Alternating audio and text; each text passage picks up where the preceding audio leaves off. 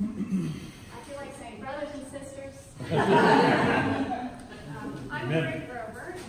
I'm the high priestess. and welcome to Guild Hall. And this is a very special gallery talk uh, by Christine Sciulli.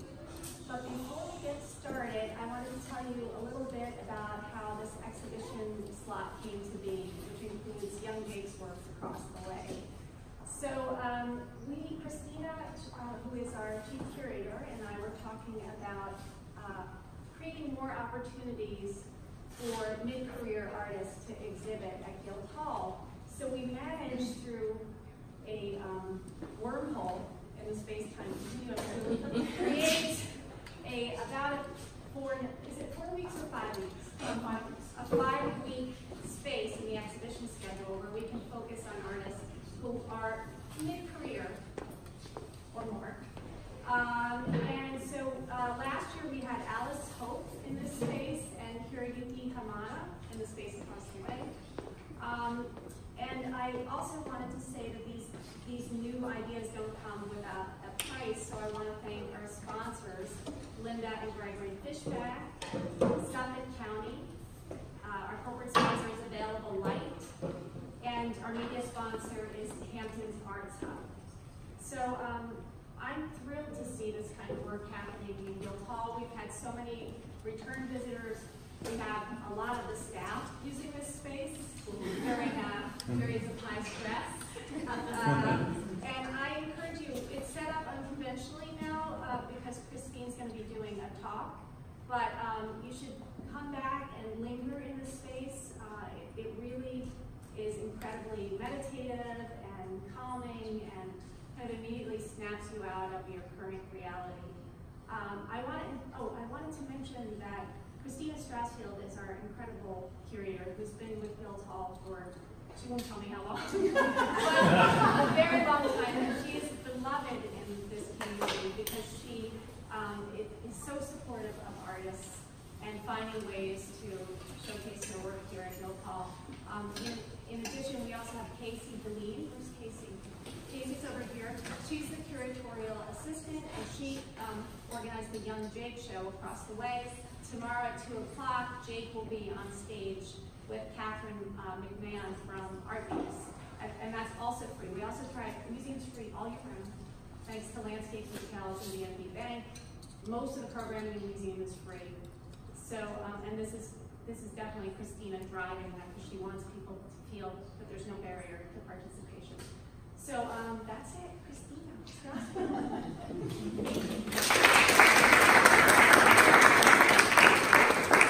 Thank you, um, again, I want to welcome you all here. Um, we're so excited about this exhibition, and I'm really thrilled about working with Christine. So I'm just going to give you a little bit of background information before I turn it over to her. Uh, Christine Sciulli's primary medium is light, and she allows the architecture of a room to dictate the composition of her work, and then transforms the space to that vision. Uh, Christine has exhibited internationally for almost two decades.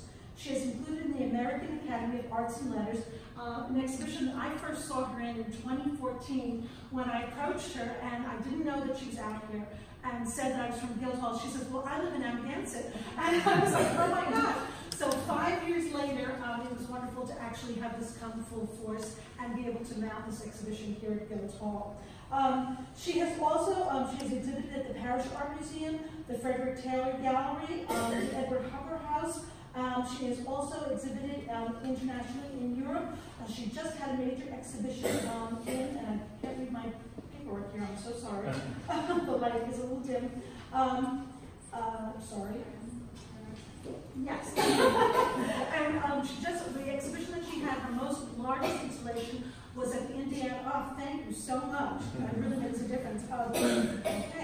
Um, at Mellon in Brooklyn, the Southampton Art Center, she was awarded the Lower Manhattan Cultural Council grant to produce an outdoor installation in Tribeca's Duane Park and was commissioned by the Global Poverty Project to create expanding cities, a projection onto 2,500 people attending for the 2013 Global Citizens Festival in Central Park. Most recently, her work was presented in a major site-specific installation at the Hel Heilige Kreuz Church in Hildesheim, Germany, as part of the Lichtenheim International Biennial. Um, her largest indoor installation to date at Indiana University was closed on the day that this exhibition opened. We are delighted to present several programs in conjunction with this exhibition. On May 15th at 6 p.m., Julie Parker from Angela Yoga will lead a vocal exploration of sound in this space. And on May 22nd, um, our contemporary circle will be hosting Procedurally After Dark with Carlos Lama, who has created a sound program responding to installations. Uh, thanks to Linda and Greg Schumacher, our media sponsor, Art Hampton. A special thanks to um, Casey Daleen, the curatorial assistant and registrar, for all of her work uh, working on this exhibition and the exhibition across the way, and for Joe Brondo, our technical wizard, who, Yes. could, who helped us with everything. I also want to thank our installers, um, led by Pete Pantilino, Lisa Weston, Harry Sharkey Miller, um, Sabine Blad, and Karen Mannix. Thank you so much, and uh, enjoy.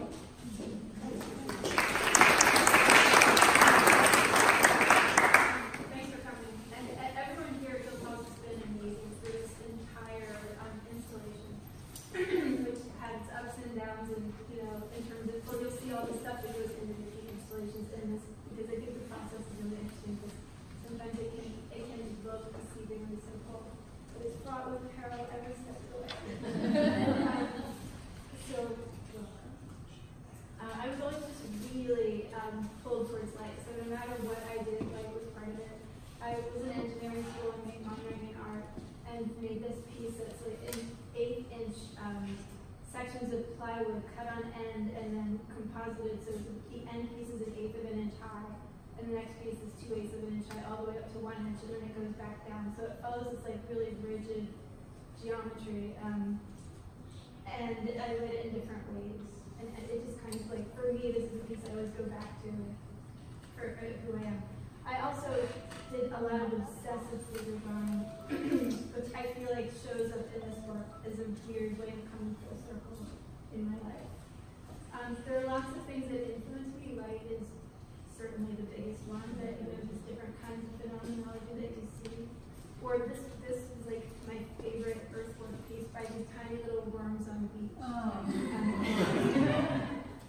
I mean, I- you know, just looking around, I'm constantly blown away by what I see, and I don't even have to do anything.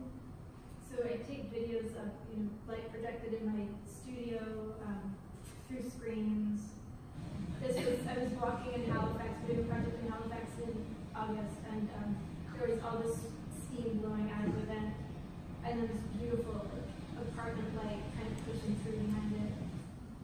So just tiny little shadows from all kinds of things.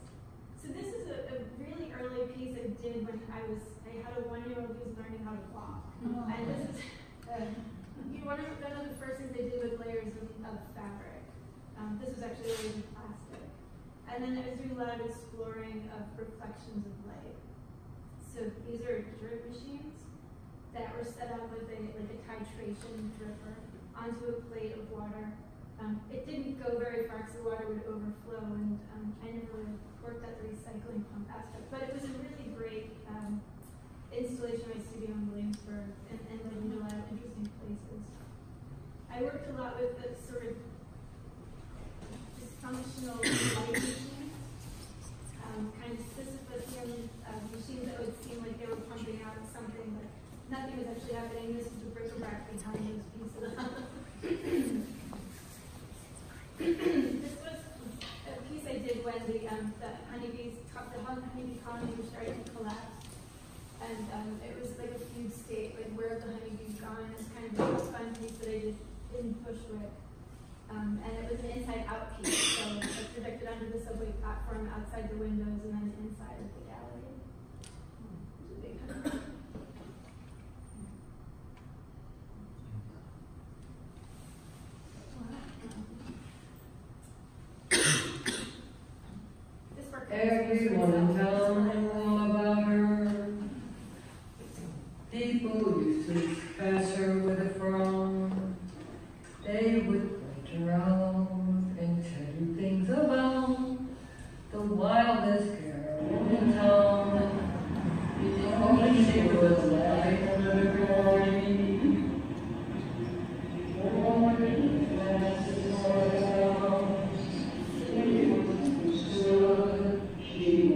She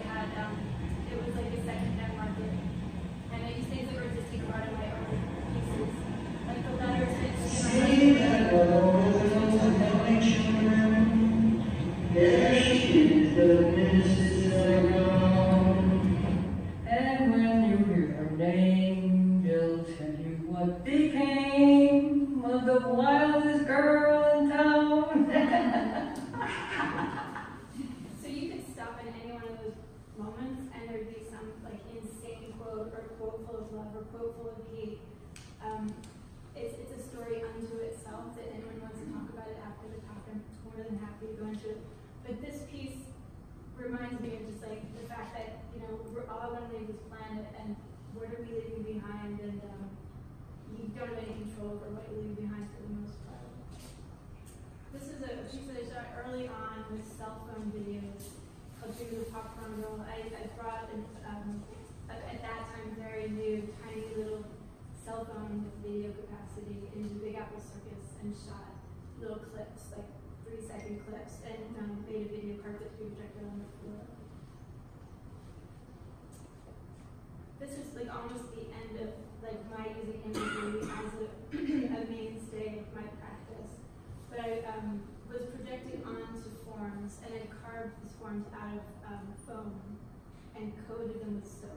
And it was a response to Hurricane Katrina. So again, with cell phone video, the pieces are scattered on the floor and you know, small videos that seemed like full resolution really, so tiny videos in a bigger frame projected onto them. This project changed everything in my world. So, um, I don't know how to pause it. I just let it play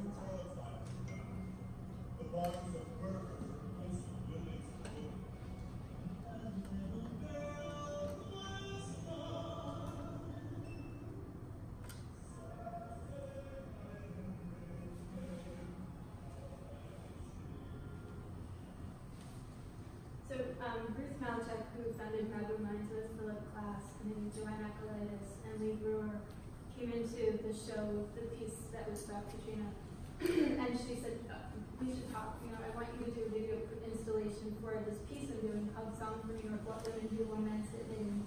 And it's like my love letter to New York. It's based on poems or poems of the five boroughs. And I was like, great, that's great. You know, what's the set? What's the projection surface? She said, it's gonna be a barge, so with a scaffold on it, so there really isn't one. But I really want you to do video. So it sort of broke me out of thinking about surface as something that I saw as being, you know, continuous.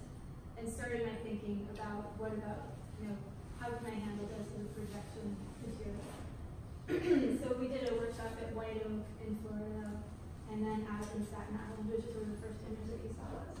So after I finished this piece, I didn't know what I was going to do because at that point I was used to working really big um, for those months. And I started working with string, which to me was like the scaffold. And at that point, I started working with lines. So I kind of made a switch from images to just being like absolutely pared down, kind of going back to what intrigued me about that first piece I showed you with the eight and eight inch study and just the simple directions of light. So the lines of light are projected through space and they just basically catch on a network of strings, like a string sculpture. Um, you know, and this is the same exact principle. It's circles that project through space and you know, push through a medium of tulle. So this is another piece I did at Islip Art Museum, and this is it in motion. So when you're in the dark space, it seems like points of light are flying around, but there- it actually is like extremely logical and it can only travel on the pathway created by the string.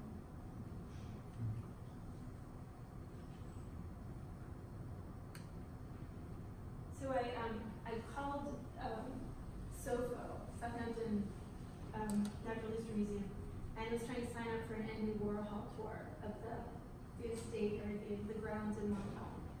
And they didn't get back to me, and then that Monday, Carol Krasson called me and she said, well, you know, we, we did, you know, we missed you for the tour, but we looked at your website and you want to do something with us? And well, that's kind of interesting. So they gave me the barn at SoFo for two months. And I think a bunch of you actually came to that. It felt so, it feels so long ago now. But um, I started playing around with Wait, I'm Steve. Hello. Lines of play and people interacted. And I started to just illustrate. And simple line of play would kind of activate the mind.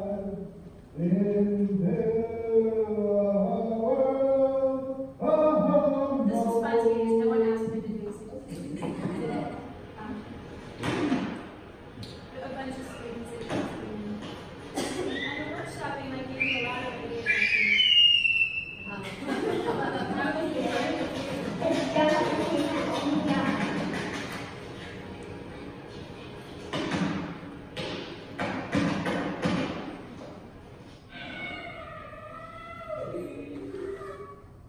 So, uh, interesting enough, Scott Bluedorn curated, he's here, Scott. Scott comes up again in his talk. Um, he put me into a show called On the Grid that's up right now out on the North Fork in Greenport at um, the SOP project. And it, it was nice, it's, it's up through April 18th, Scott? 19th. Um, but it was nice to revisit this work while this work was actually up and to create a piece that originated from this grid. That's a 20, uh, sorry, 10 by 10 staples, and each staple is rotated 45 degrees, and the strands come off in random angles and then anchor to another point in space. Um, and then again, the lines projecting through just like very methodically, the lines of light. Um, so the chaos on the, that, that isn't really chaos on the walls or mirrored in what isn't really chaos, what seems to be chaos on the floor.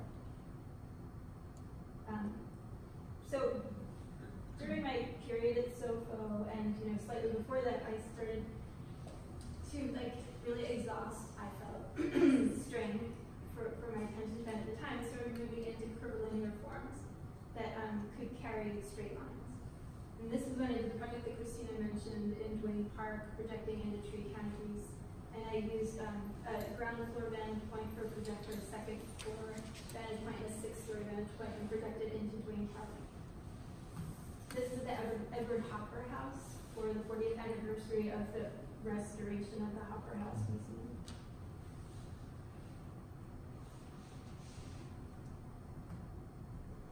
This is from the residency at SOFO, and this is a piece of um, grasses that I collected from around here, um, a wall piece. So the grasses are coming out of the wall and it's shaped like a rectangular shape.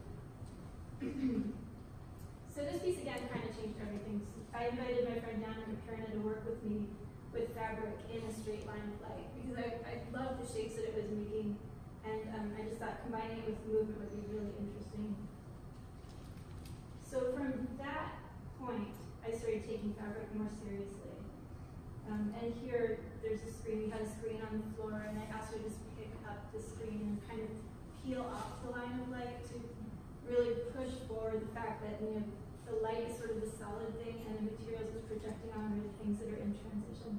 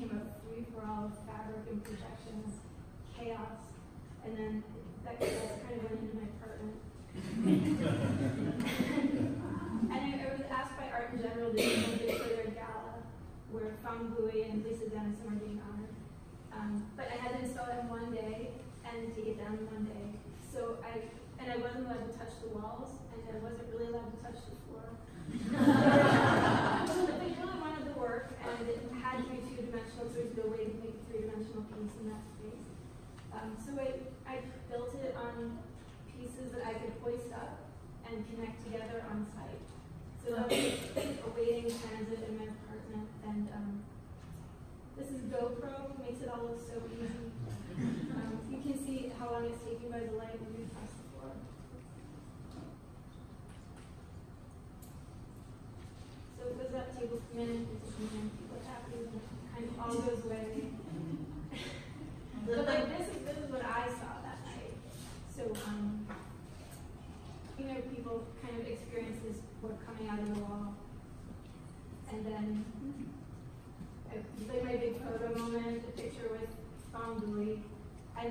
actually not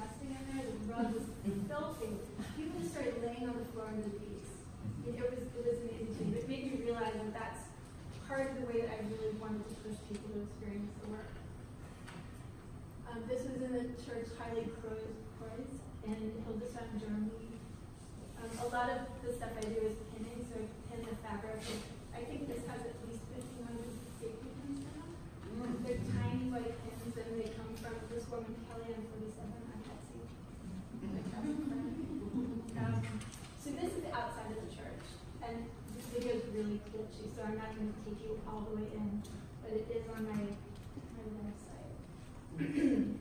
um, this is a small piece that I did in a corner. So I like to play with what can I do with the space? Like, what does it say to me? And this was a, just a big empty space, part of a group show, and I needed to push my piece way into the corner because there were other works with play.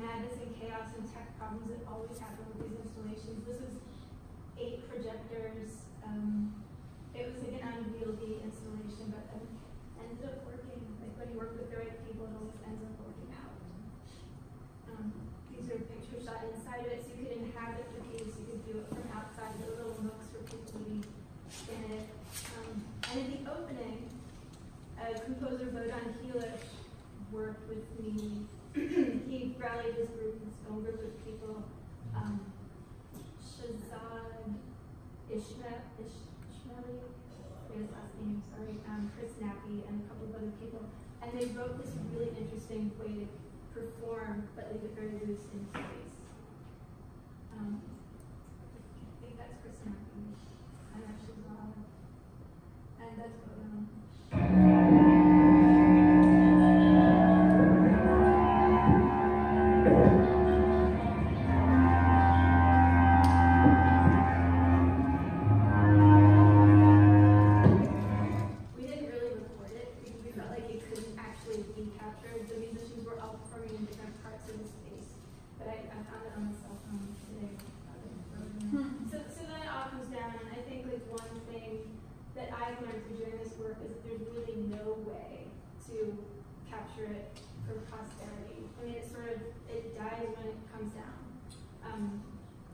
and video doesn't really work. So it, it's really, I feel very fortunate that you guys actually want to be here and.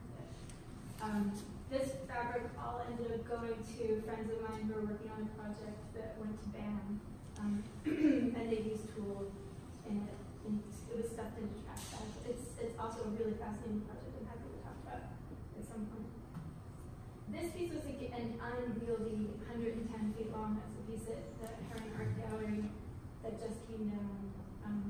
110 feet is a lot of feet. And there were two walls, uh, 30, uh, 16 feet long and 12 feet high, like two and a half feet wide, that I used and sort of, I subsumed them with fabric. Um, again, this is really I don't know how I ever lived without those between shows and you know, turned the space into this um, insulation that people moved through and experienced. There was another piece that I did at, um, in Cologne at the Museum of Applied Arts. It's called the MAC. That's how they know it in Cologne. And it was a really incredible architectural space. Truly, um, like one of the best spaces I've ever worked in. Um, the glitch was they would not turn the lights off. so the, um, the curators you know, beseeched the museum, the museum said no for security, we just can't turn the lights off. But um, it, it, became a very sculptural piece, and I'm, happy with it at the end of the day. But you know, there's always something that throws you off when you get back on your game.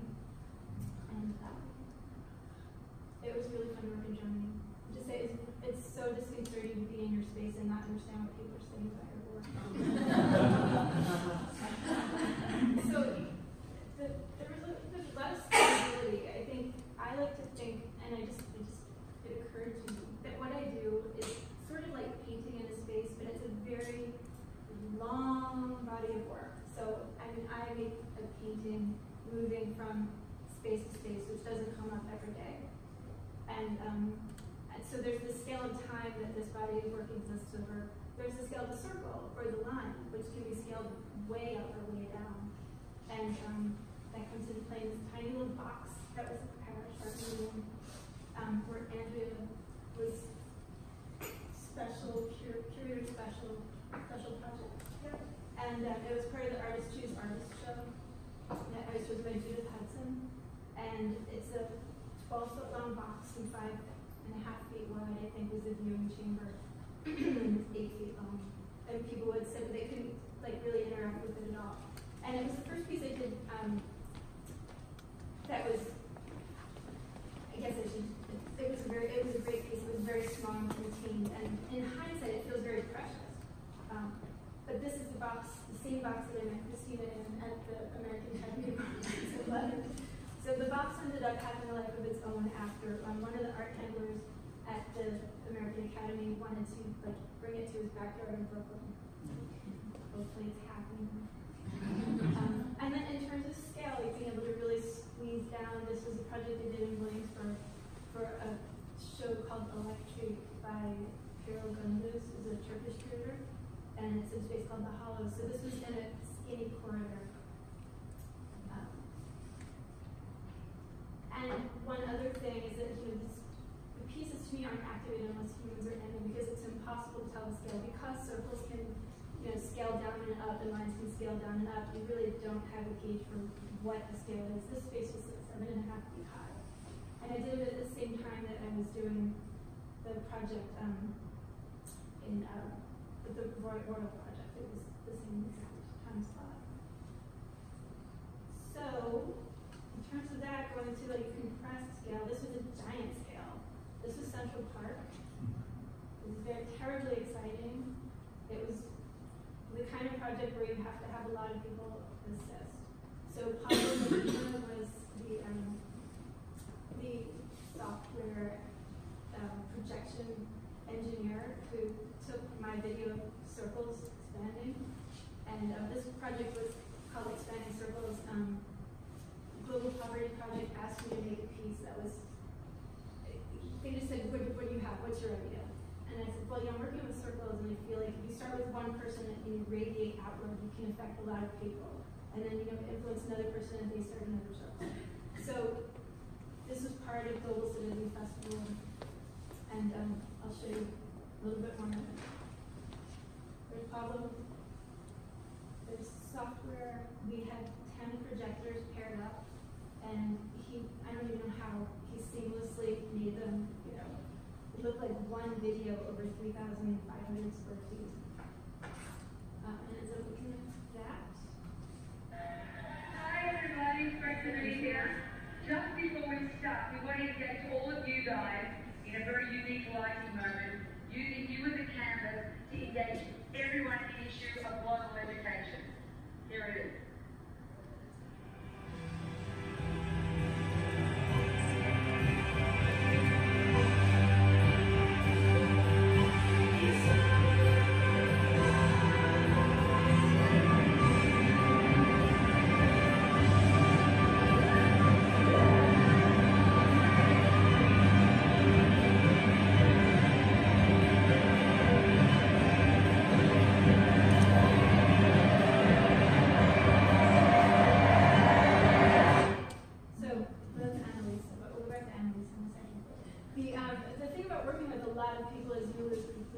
control over what's happening as the artist.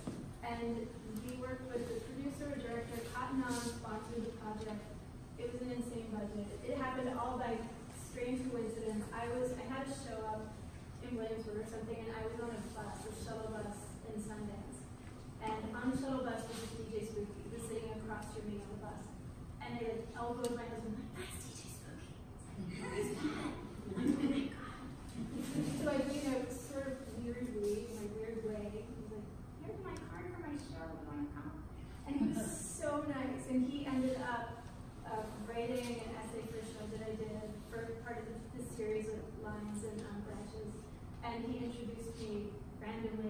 Pushing a stroller in Tribeca, introduced me to the person who brought me into this project. So there was a lot for me at stake in this project. It was giant. A lot of people involved. The directors were, um, it was on broadcast TV, and the directors wouldn't tech it. They're like, we don't have any time to tech it. You know, the camera's gonna, it's fine, you got this. I'm like, wait, how, whatever. They only had one boom crane. So it finished, Pablo's looking, I'm looking, we're just like, we don't see it. The people are cheering, like it's the people felt it all go over them, but we were standing crowd height. And the scissor lift operators took that video. And it's literally the only video that exists of it. Mm-hmm. The director somehow missed swinging the boom crane from Deborah's furnace over to the installation, which was like, they only have one boom crane. I don't know what they're thinking. But for me, it was so, I mean, I was like devastated for that for like maybe half an hour before they came down from their purchase and was, that was incredible! I'm like, what are you talking about? yes, people on stage. So this is Annalisa. Annalisa, I wish she were here. She comes all the time. She's she's great. She's another curator who's um, been really fun to work with. She brought me to to work on a project in this very teeny fishing village on the coast of the Kattegat Sea. It's um, it's not touristy whatsoever. There are maybe like 60 people who live there, and she it's her hometown, and she wanted to actually bring contemporary art to her town. So she asked me to project onto this ice barn that a family owned. And we went around talking to different people and asked them for pictures of their family and history. and then ended up projecting onto their ice farm. Different images, and you know they came out. It was it was great. There were other artists involved in the project who did different installations in the town. But it was a really nice way of just being able to make work and having an audience who doesn't really get exposure to work and having it be um, just a, a great time for cultural cross pollination.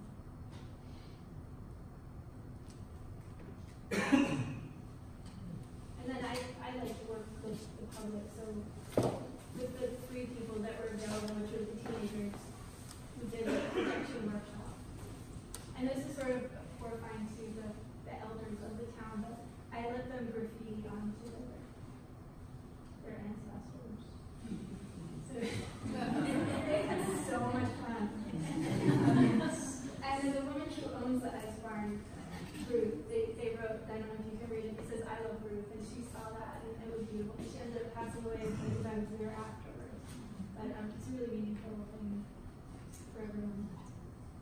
But this is the last thing I'm going to show, I think, and then we'll have time for questions, or we can just chat amongst ourselves.